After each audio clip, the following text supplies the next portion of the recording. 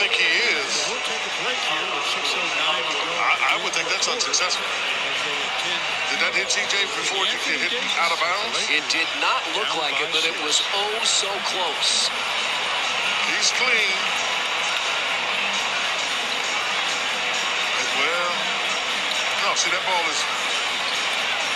Oh, yeah. Oh, it's in the chair. You can't see if it hit his arm or anything, but I would say it's inconclusive. Maybe they have another angle somewhere.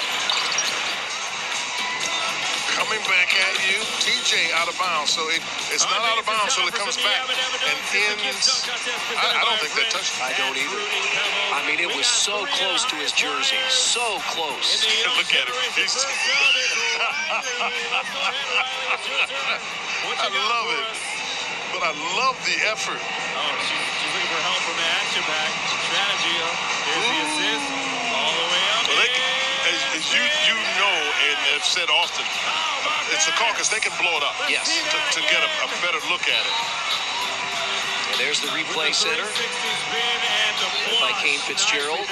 In the replay center tonight, Jenna Schroeder, Matt Boland, Robert Hussey, Scott Twardowski, Scott Wall. See, Tyrese having a good time with TJ. They're laughing about whose ball it is. They've got games all over the association tonight.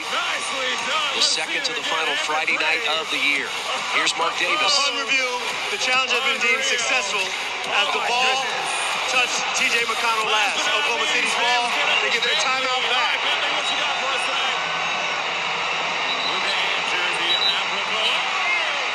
Boy, TJ McConnell cannot believe it. What did it touch? Unless he's out of bounds. No, they, they said it touched it, which means it had to come back. Ooh, I, I tell you what, they must have a different angle. Great work by our crew, he get his elbow? led by our director, Jamie Burns. Yeah, it hit his hip. Right, it hit, it hit his left. Yeah, it hits his left hip. So that's how, in the replay center, they can blow it up just as we're seeing it blown up. Yes. And so they deemed that it hit the pants of TJ McConnell. So the ball to Oklahoma City with the Pacers up 117 115. Now, defense. All this good offense. Let's see what the defense brings to the table.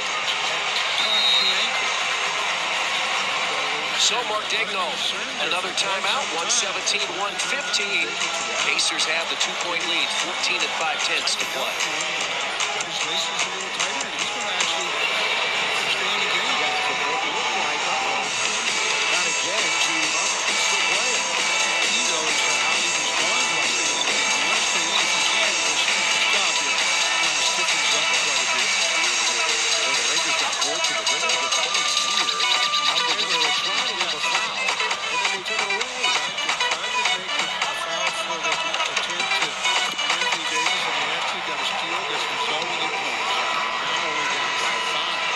For the Pacers, it comes down to a stop with 14 and 5 tenths. Our timeout brought to you by Connecticut, official water of the Indiana Pacers. 117 115.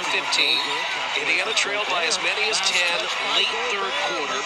Used a 29 to 11 run to take an eight point lead at 110 102. And now Oklahoma City has the ball, a chance to tie or take the lead. They've got one of the top scorers in the NBA, number four, in Shea Gilgis Alexander. This is a packed house.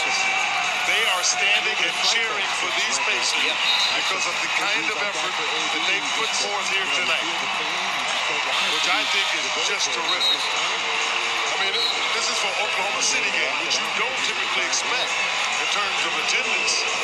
They're here and they're being loud. 16,506 tonight. Giddey will inbounds just in front of the Pacers bench. And they're going right to where it went out of bounds, that chair that TJ McConnell was seated in. He's gonna sit down in the chair. No, with, I'm just messing with here we go, Giddey. Let him turn the corner. Gilgeous-Alexander against Mather. Spins on the baseline. His shot is off. Smith the rebound. By the way, we're also about Jalen Noel So Bennedict Mathurin Quinn got the assignment of Shea Gilgis Alexander. Well, they did a really good job. He gets it, and he just stays locked into him. Tries to keep his hands off of him. He actually got fortunate because he jumped a little bit, but just stayed solid. You got to stay on your feet, but you can challenge the shot, and he was able to do that. And then from there, the Stix just got the ball. 11 points, 15 rebounds tonight for Jalen Smith. He shoots a pair of free throws.